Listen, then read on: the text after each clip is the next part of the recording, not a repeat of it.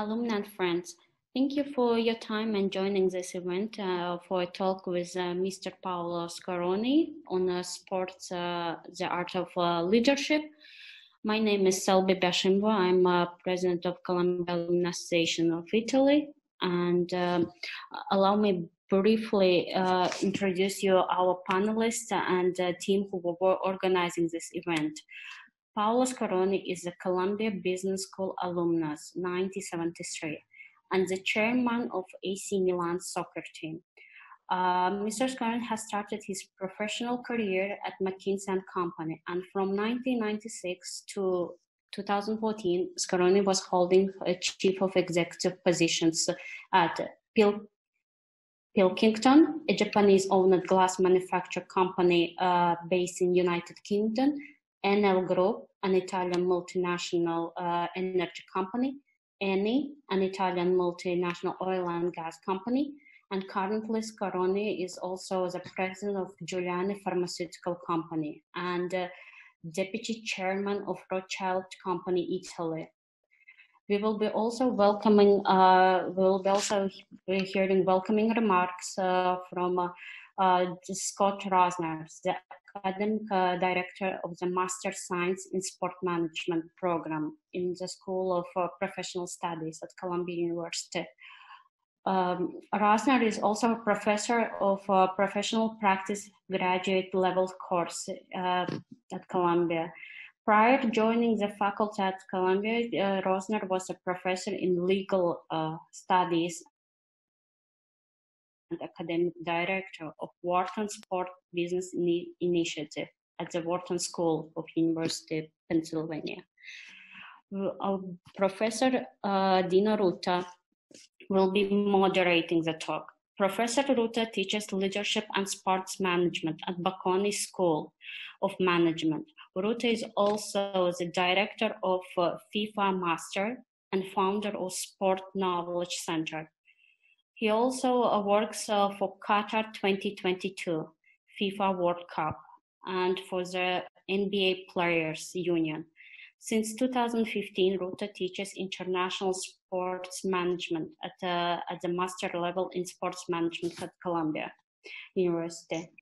The event is a proposal of Alessandro Mosca, uh, who graduated Columbia University School of Professional Studies in 2018 uh, with a master's degree in sports management and master in global sports law. Mosca is associate at Ruiz Huerta and uh, Crespo Sport Lawyer, based in between Milan and uh, Valencia. I'm joined by Cornelia Lau, Vice President of uh, uh, Italy. Uh, we would like uh, to thank you also all participants and uh, Gaia Canevari from AC Milan uh, soccer team, and Olympialex, uh, an international sport law uh, platform for technical support of the event. Dean Ross, uh, uh, Director Scott Rosner, your opening remarks. Grazie, Selby. Buona serata to all. Uh, my name again, my name is Scott Rosner. I serve as the academic director of the sports management program, uh, the Master of Science program at Columbia. Um, and uh, very honored to be asked to join you tonight, along with my colleague Dino Ruta. Uh, and you know, just a little bit about our program. Uh, and and it's funny, most people don't associate uh, Columbia University uh, with uh, a connection with football, um, but we indeed have a very proud one in our program. We have uh, we work with a lot of partners, uh, La Liga, Bayern Munich, um, Real Madrid, um, among others, um, and uh, very proud to do so. And so, uh, looking forward to today's conversation. Uh, funny enough, my the first international football match I ever went to uh, was in the Italian Super Cup in 1993, featuring AC Milan. Um, and when I was in, working for the World Cup uh, World Cup organizing committee for the United States in 1994, uh, and my lasting memory of that day is sheltering uh, Paolo, Maldini and Enzo Francescoli from adoring fans uh, who there was a pitch invasion as I kind of ushered them off the field into safety. Um, so no such controversy today, uh, but really want to thank everyone um, for doing this and looking forward to the conversation. Dino? So I will uh, start with the first question, and then uh, uh, at the end of our interview, we will welcome uh, questions also coming from the alumni through the chat box. So my first question to you, um, Mr. President Scaroni, is um, uh, let, us start from the beginning of your adventure with um, at AC Milan. So please, can you describe the acquisition leading Elliott Management Corporation to become the majority shareholder of AC Milan, thus you president of the club? I, I will make the, the, a short story about that. Uh, Mr. Berlusconi, who owned Milan for many, many years and who made uh, out of Milan a great success, sold Milan in uh, uh 2017, more exactly on the 13th of April of 2017, roughly three years ago to a Japanese company, a Japanese, a Chinese company owned by Yonghong Li. Uh, at that time, uh, the price was roughly 600 million euros, and Mr. Yonghong Li uh, got a loan from Elliott of roughly 300 million euros, giving as a guarantee AC Milan. At that time, um, Elliott asked me to join the board as the only representative of Elliott, uh, essentially for my past experience. I already has been chairman of Vicenza Football Club many years ago. Uh, I'm from Vicenza, by the way, so I have some experience around football. Uh, I became, I entered the board as non-executive, and uh, roughly one year later, um, Yonghong Li didn't repay the loan, and so Elliott became the owner of Milan. I say the owner in the sense that uh, Elliott owns 99% of, of Milan. Uh, I became chairman and I stayed as chairman and CEO of the company until December 2018. So from July, I, I just um, would like to mention the fact then that when I was number four in uh, uh, the Campionato, and so would have entered the uh, Champions League, uh, which unfortunately didn't last year. So the that, so that has been the, the short story. I'm exactly. Yeah, please. The story the story brings us uh, to December 2018 uh, with the arrival of Ivan Gazidis as a yes. new CEO of the club that gave um, if I may say, a sort of a new boost uh, coming from Arsenal. Um, what, what are the main guidelines on which the company, the club, has planned its growth over the coming years? No, I made clear from day one that uh, my intention was not to work for time, full time for Milan. On the other hand, I, I, really didn't have the time to do it. So the arrival of Ivan Gazidis, who is a professional of football was most welcomed by everybody, including me. Ivan Gazidis joined Milan with some ideas uh, which are around essentially three areas. First of all, uh, to build a young team, a young team young players who would play a very fast football, uh, much faster than usually is played in Italy, more similar to what is played uh, either in, in England or by Ajax, just to give an example. So young, strong, professional players. Second uh, axe, which is essentially what I'm really uh, taking care of, to build a new stadium. Uh, you know that uh, the, the, the, famous San Siro uh, is a great name, but is uh, totally obsolete for the football of today. I just wanted to give you a number. No, uh, AC Milan uh, revenues from stadium is roughly 30 million euros a year. All comparable teams in Europe have revenues in excess of 100 million euros. So we have been working uh, hard together with Inter to build in Milan the most beautiful stadium in the world. I think we are progressing. We are progressing quite nicely. Um, and uh, I hope to be announcing a success in the next few weeks or months. The third area is, of course, the area of sponsorships because Milan needs to, to have revenues, important revenue from that front. Uh, and of course, sponsorship and uh, sport results go together. Uh, if you do not have sport result, it's not easy to get sponsorship. If you don't get sponsorship in, in our times of financial fair play, it's difficult to have results. So the two things have to, I say always that it's like climbing two mountains at the same time. The mountain of sport result and the mountain of revenues. The two things go together and you have to meet both targets. Um, thank you very much for, for this clear explanation. And um, uh, you started with the idea of um, one of the first pillars is that to, to build a young team that is able uh, to uh, to work well together. You know, you made some examples like uh, Ajax that is quite famous uh, in Europe. Um, talking about sporting results, uh, we may say that building good a good team um, it, will, it may take a long time. Um, what has Milan uh, AC Milan done well and maybe less well about this uh, in the last years? First of all, we have, uh, I think, the youngest team in Serie A. So we have been meeting at least this objective to have young players. Uh, then we made also some mistakes, of course. Uh, just to to yes to mention one, I mean we have been changing the coach uh, the beginning of the season, the choice uh, uh, of Mr. Giampaolo was probably not a lucky, lucky choice. And, and but today we are quite happy with Mr. Pioli. Um, in any case, every time you try to build something uh, and, and, you want to in, to be an innovator, you make mistakes. I mean, we have to accept a certain level of mistake. I hope that most of what what has been wrong is behind us and not in front of us.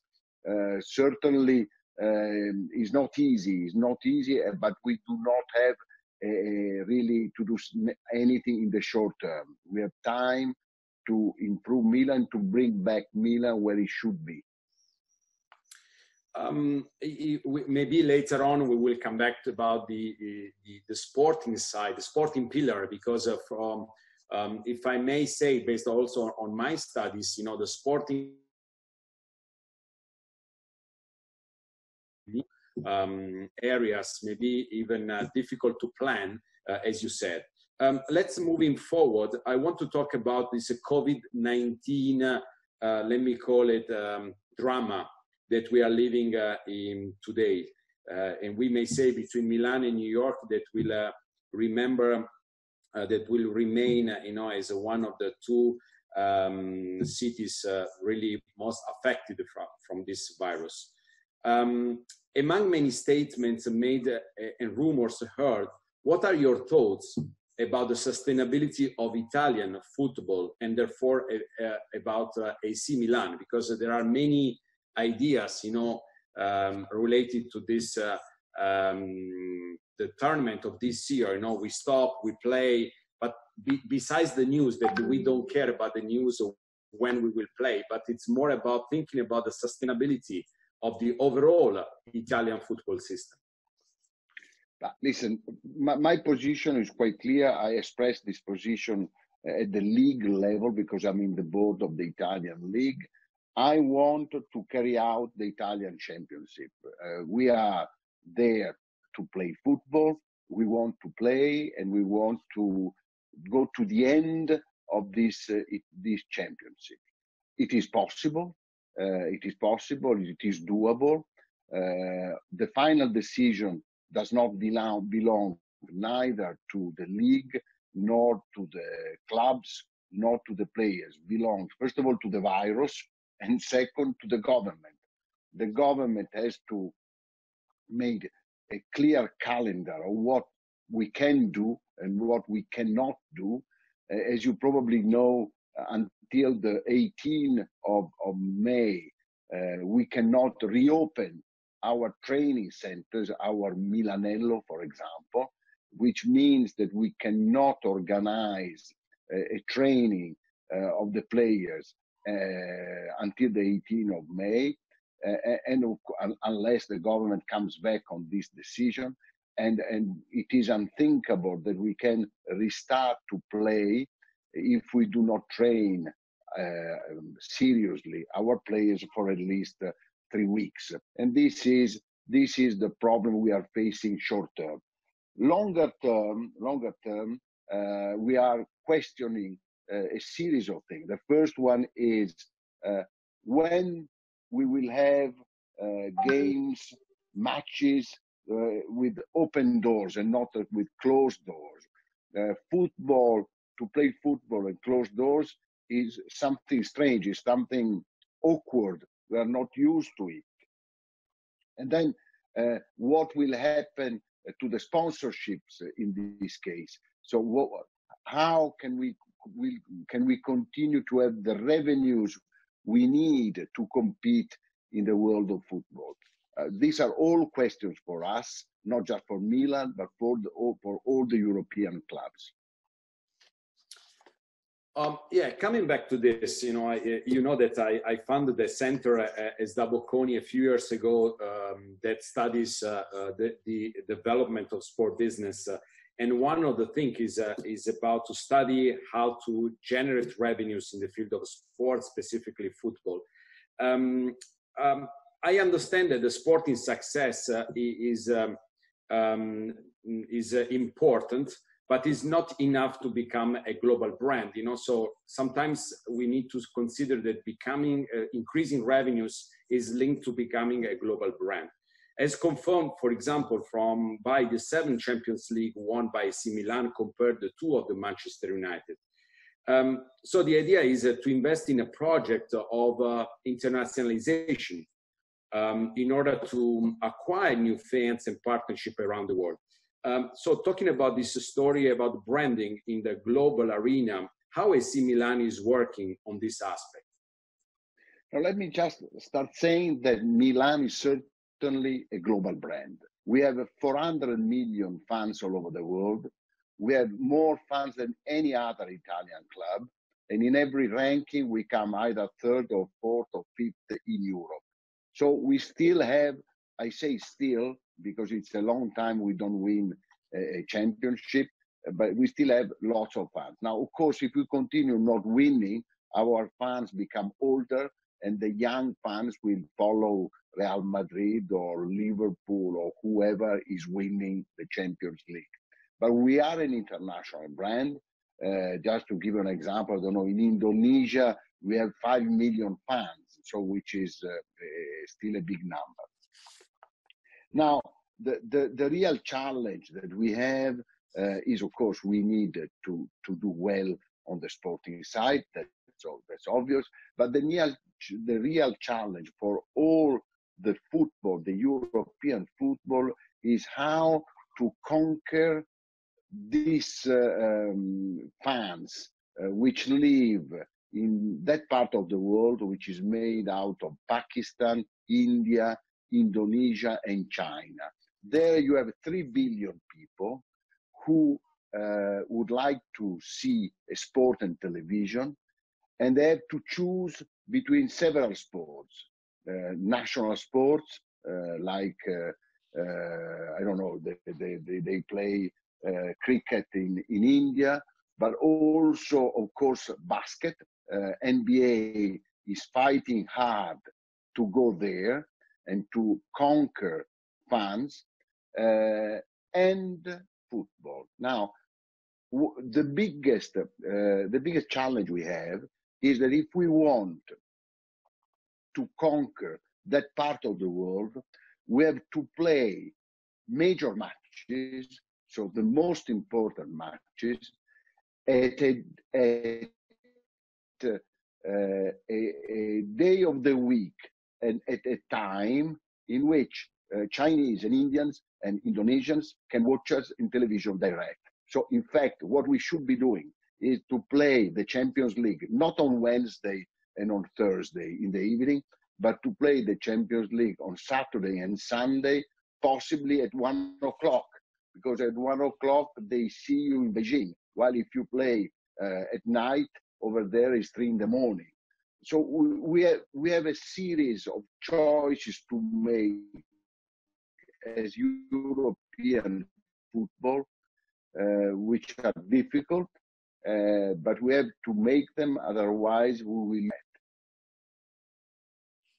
so uh, thank you very much. It's very clear the fact that uh, uh, building a brand um, is part linked to what a club may do in uh, um, developing the brand. And there are studies, uh, uh, as we mentioned before, that says that clubs may um, may acquire new fans even though it, it, it doesn't win uh, obviously it's important to be competitive, you know, so to participate in international competitions. Uh, and at, at, the same time, these kind of competitions can be league level, UEFA level, uh, must be broadcasted um, all around the world or in, um, in uh, key target countries that can contribute to the, to the uh, obviously to development of the league or in general the clubs.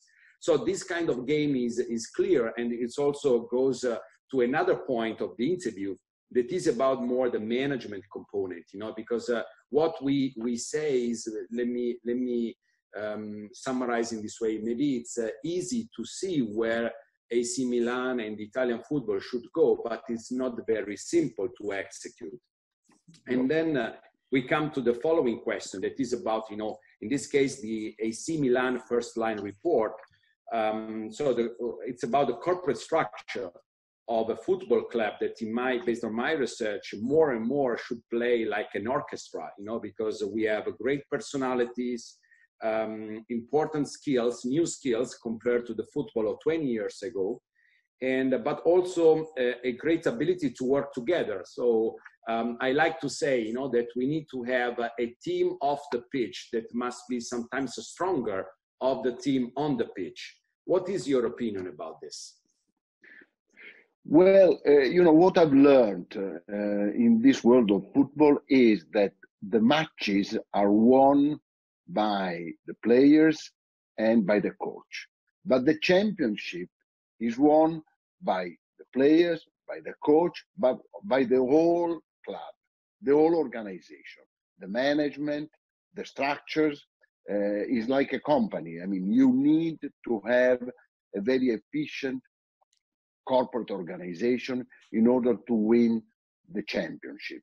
Uh, so what we are trying to do, and Ivan Gazidis in particular, working at it with his experience, is to build a strong organization of AC Milan.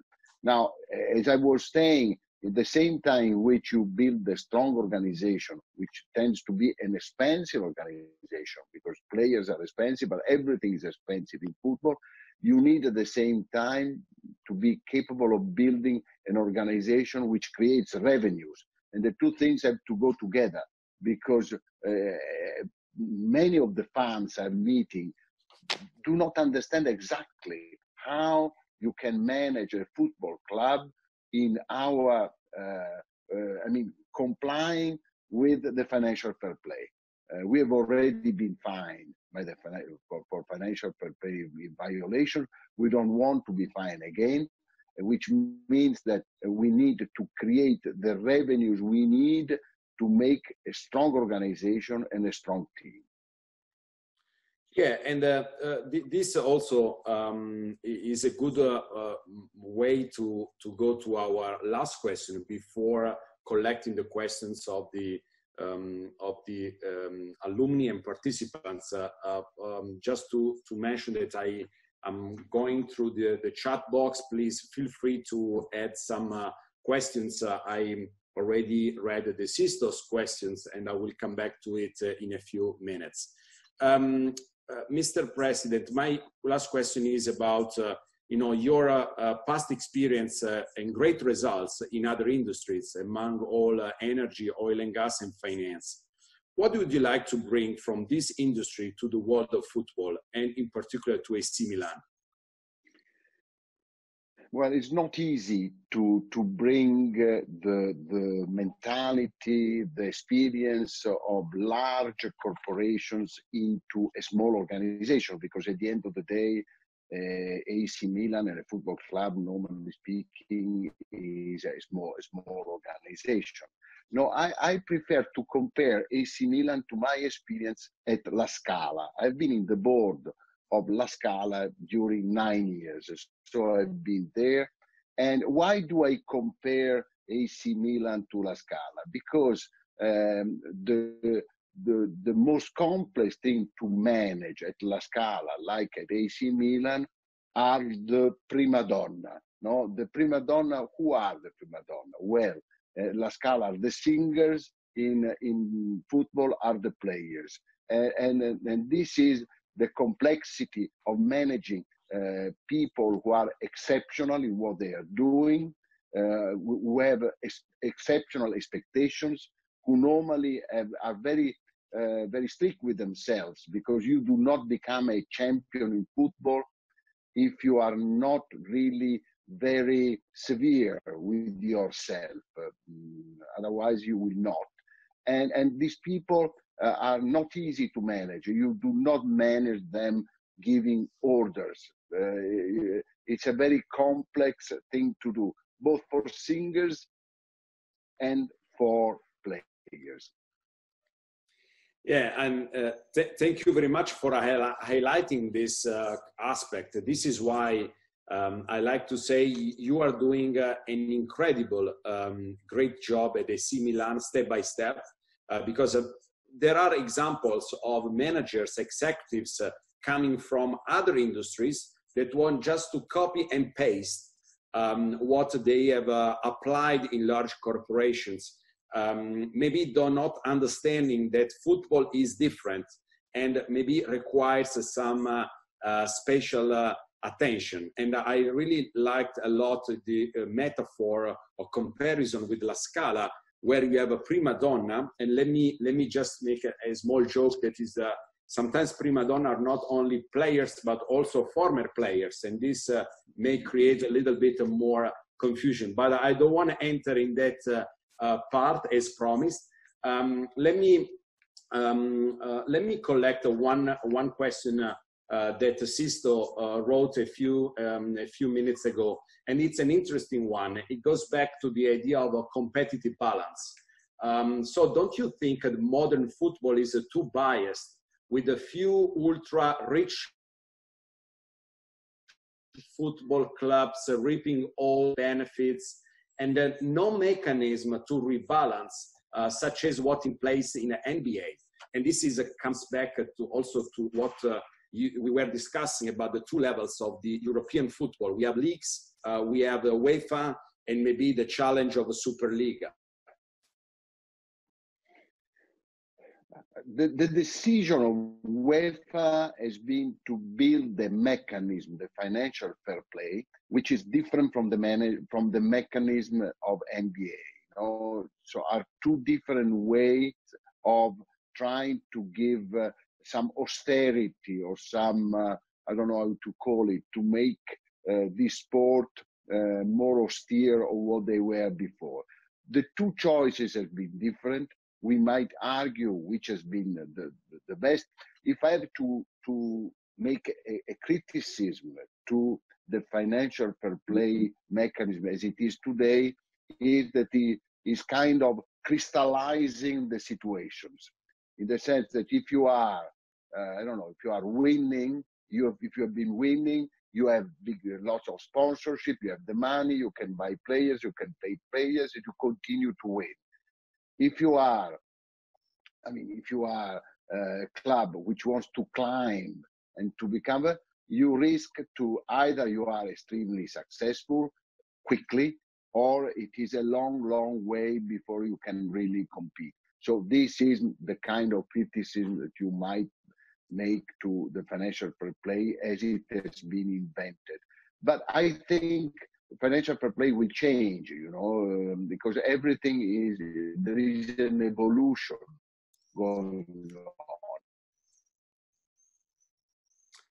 on. Um, this is, uh, uh, I, I, totally agree. And uh, this is one of the big uh, criticism to, to UEFA in general, because uh, uh, just for, um, for your information, but also for the alumni uh, with us. Um, I'm, I just uh, uh, finished a study that is able to um, to explain from a quantitative standpoint how the UEFA money, the money that UEFA is giving to all the clubs during the, the last 10 years, they have contributed in having this unbalanced situation where, for instance, Juventus is winning more and more, Bayern Munich, uh, and so on and so forth. So, in a certain way, is UEFA that is creating this situation, and maybe they have a, a, a, another plan in the future between, you know, Mr. Agnelli and Ceferin, you know, to create international competitions uh, without um, uh, spending too much, uh, you know, attention to the low, to the national ones.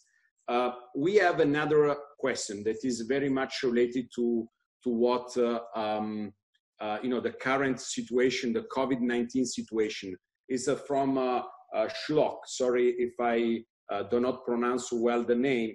the question is the following. Would the impact of the virus and the advent of big tech companies change your partnership strategies to make your stadiums or facilities more fun friendly from a health perspective? Say that uh, uh, our project of a new stadium in Milan, if you want to build the, the best stadium in the world, will, will also be the safest stadium in the world.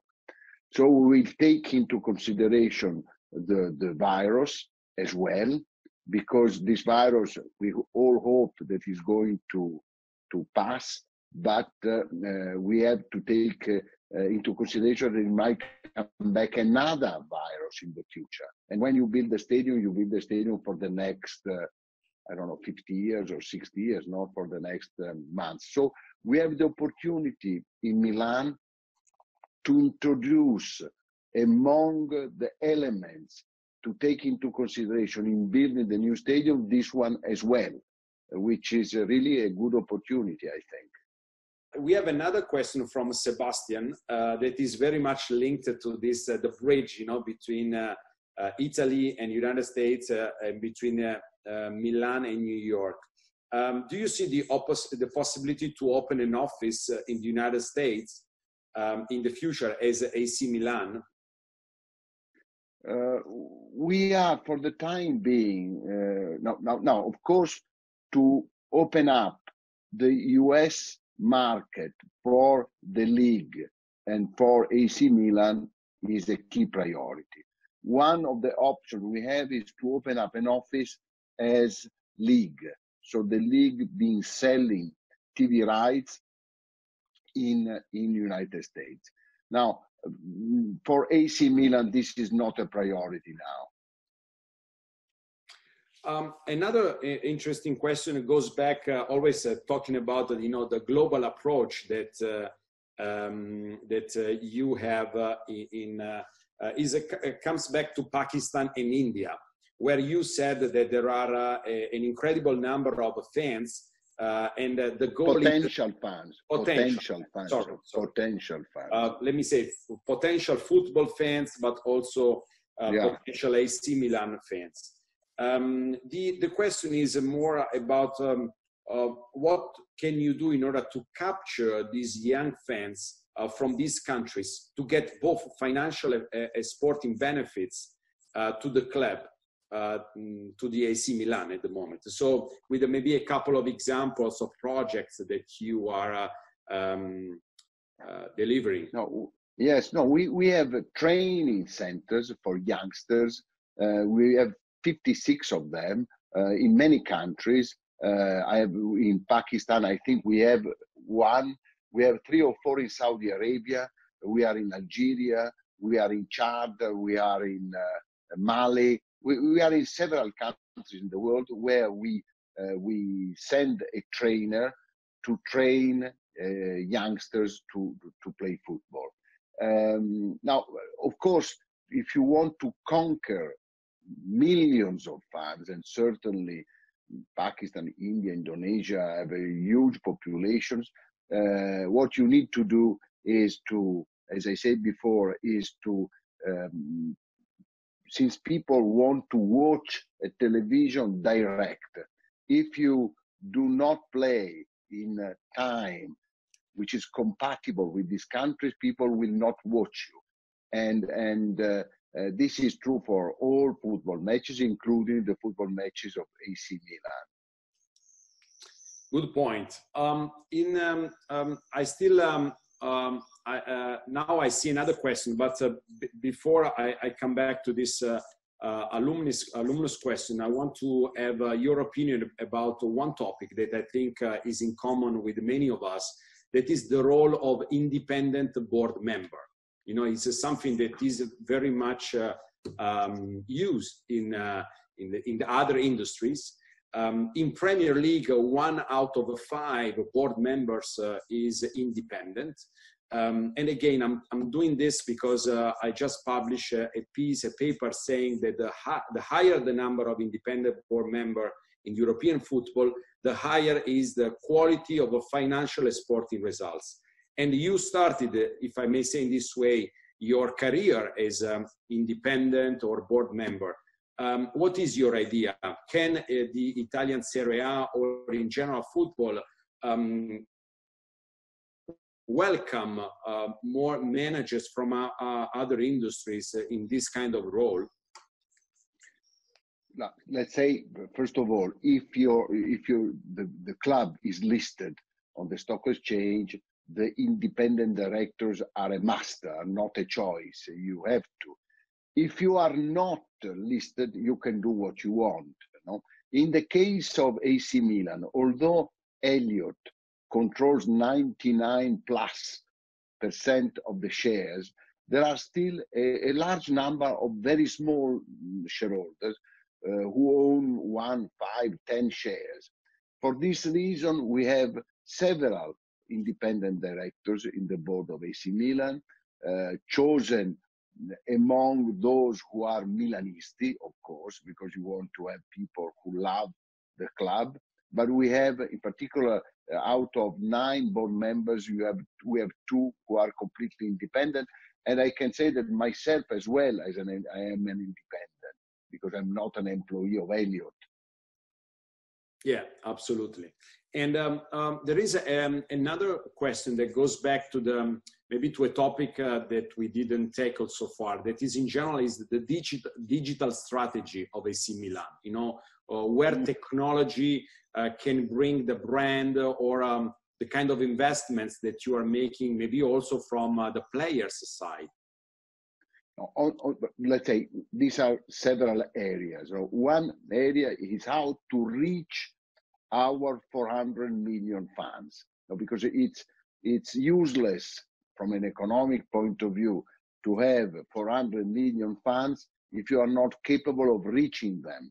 Uh, so this, uh, as the, we have been developing a, a, a, strategy to reach our fans. We have an app, which is Milan app, which is giving a series of news, contacts, etc. So we are starting to build uh, on this uh, on this base of fans uh, for for several reasons, including economic reasons.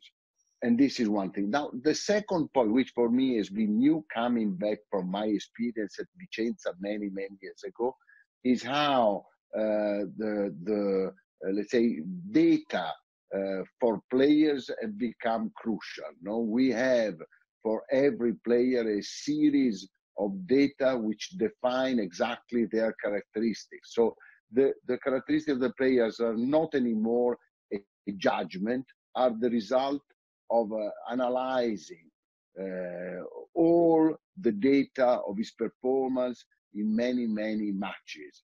And this, I think, is pretty useful because you discover things that you haven't uh, thought just watching the player. So yes, data are key and we need to develop a special expertise in this area. Yes, I think uh, that we, we, we, may conclude that there is also another comment from Tommaso that I want to share with you, President, that wants to come back to the, uh, also in this case, to the role of technology um, and uh, maybe how esports or gaming, a new generation, uh, uh, can bring value uh, you know, to, to football, to AC Milan, to, to Lega Calcio. It's just a comment to say that uh, uh, alumni are happy to contribute for for the future for the future of the Italian football.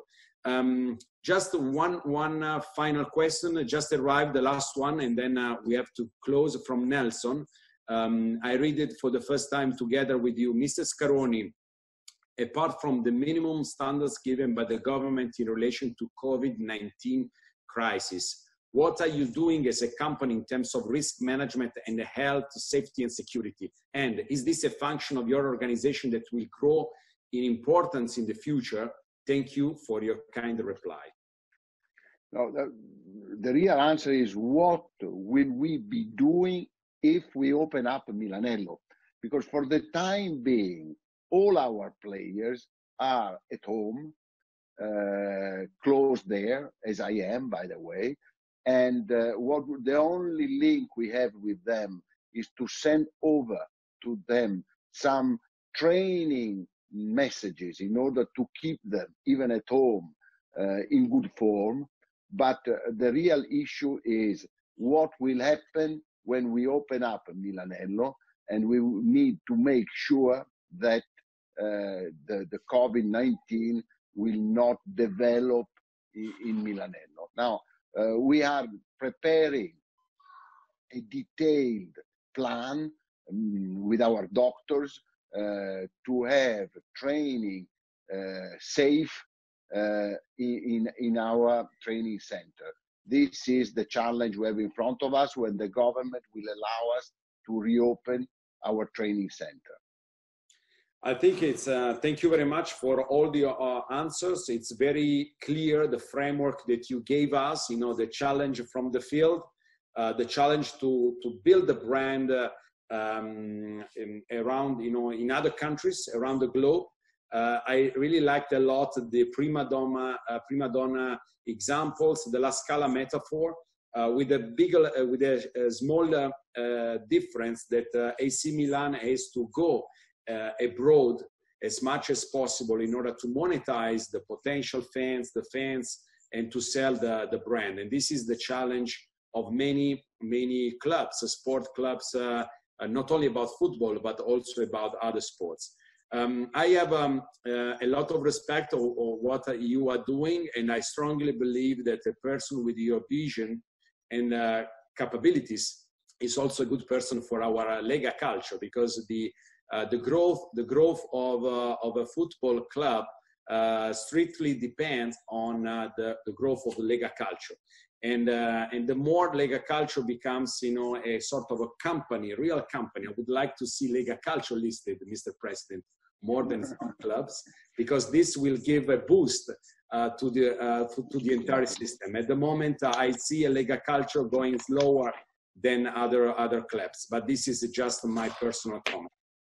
Um, I leave uh, the word to you uh, in order to to say the final remarks, and thanks again from my side. Now I want to say to my fellow alumni of Columbia Business School that uh, uh, it has been a pleasure to talk to you about football. Uh, in these days, I'm asked to make lots of webinars, but normally on oil price. So it is for me a great fun to move from oil price to football because even if we don't play football now, football is certainly more fun than uh, oil. Thank you and uh, have a nice and safe weekend.